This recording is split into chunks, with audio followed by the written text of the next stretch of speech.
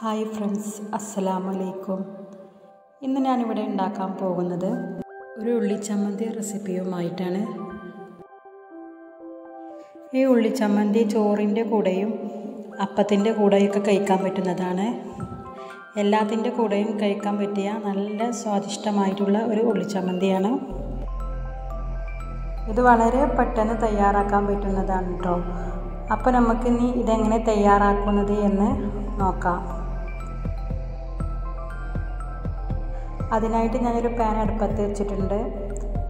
ഇനി അതിലേക്ക് കുറച്ച് വെളിച്ചെണ്ണ ഒഴിച്ച് കൊടുക്കാം. വെളിച്ചെണ്ണ ഒഴിക്കുമ്പോഴാണ് ഇതിന് കുറച്ചും പാടെ ടേസ്റ്റ് കൂടുന്നത്. ഇനി വെളിച്ചെണ്ണ ചൂടായതിന് ശേഷം ഇതിലേക്ക് ഒരു വലിയ ഉള്ളി കട്ട് ചെയ്ത് വെച്ചത് ഇട്ട് കൊടുക്കാം.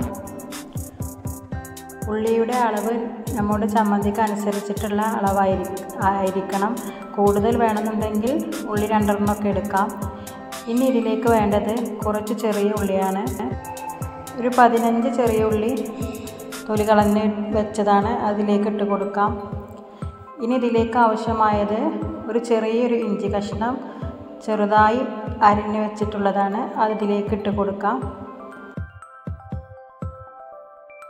ഇനി ഇതിലേക്ക് മൂന്ന് വറ്റൽമുളക് നടുമുറിച്ചിട്ട് കൊടുക്കാം.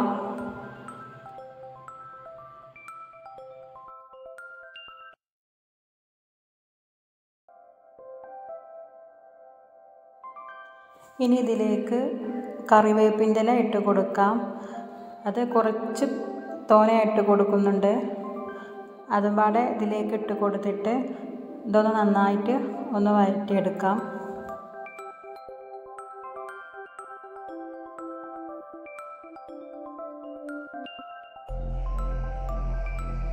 അപ്പോൾ അതൊക്കെ ഒന്ന് അങ്ങോട്ട് വയറ്റി വന്നിട്ടുണ്ട്.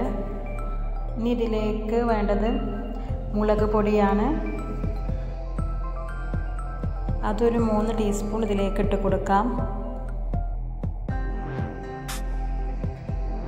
എരിവ് കൂടുതൽ വേണ്ടവർക്ക് അതിനനുസരിച്ചിട്ട് മുളകും പൊടി ചേർത്ത് കൊടുക്കാം. എന്നിട്ട് ഇത് ഇതിലിട്ട് നന്നായിട്ട് ഒന്ന് ഇളക്കി കൊടുക്കാം. ഈ മുളക് പൊടിന്റെയൊക്കെ പച്ചമണം ഒന്ന് മാറി കിട്ടാൻ വേണ്ടിയിട്ട് ഒന്നതിൽ കടന്നിട്ട് തന്നെ ഒന്ന് വഴറ്റിയെടുക്കാം.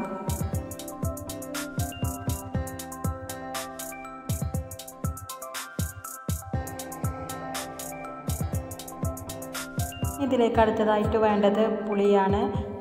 പുളി കൂടുതൽ വേണ്ടവർക്ക് കുറച്ചും പാടെ എടുക്കാം. ഇനി ഇതിലേക്ക് ഒരു ശർക്കര ആണ് വേണ്ടത്. ഈ ശർക്കര ഇതുപോലെ ഒന്ന് അങ്ങോട്ട് ചെറുതായിട്ടൊന്ന് പൊടിച്ചെടുത്തിട്ട് ഇതിലേക്ക് ഇട്ട് കൊടുക്കാം.